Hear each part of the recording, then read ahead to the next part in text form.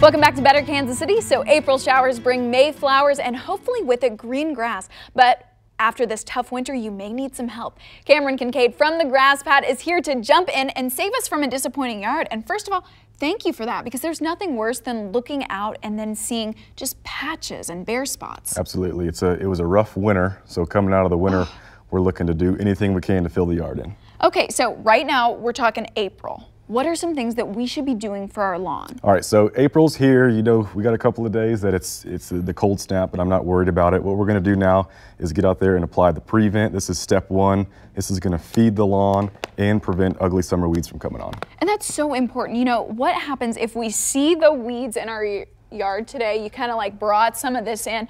And, uh, you know, will this crabgrass preventer kill them? We get that question all the time. This is actually just going to prevent the weeds. It's not going to kill anything. Mm -hmm. For killing the spring weeds, you know, we, we have the, the salad bar is what we call with Ooh. all the spring weeds coming on. They're okay. everywhere. If you're driving down the road, you can see them anywhere and everywhere.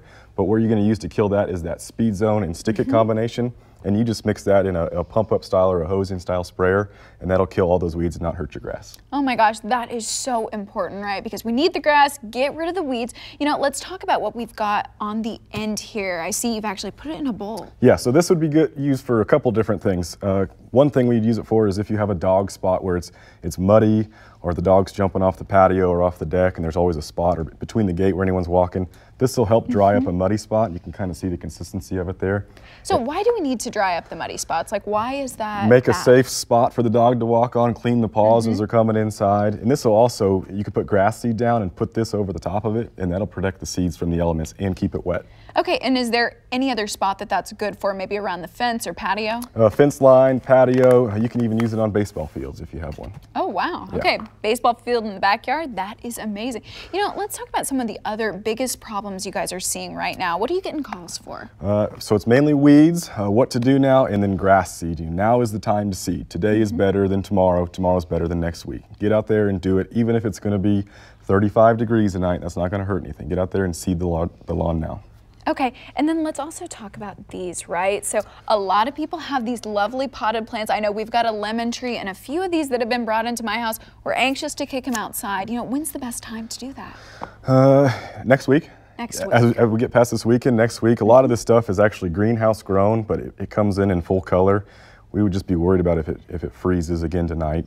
But next week it's supposed to be back in the 70s. Okay, so next week we're talking 70s. Yeah. You know, should we bring stuff in tonight if we are going to see those colder temperatures? Stuff that's been in the ground, we are not worried about. You know, if you have tulips mm -hmm. and daffodils that are coming up and blooming, we're not worried about that. But stuff that is, you know, fresh vegetables that you're planting this year or mm -hmm. the mm-hmm. spring, uh, stuff in the pots or the hanging baskets, make sure you bring that stuff in tonight. Okay.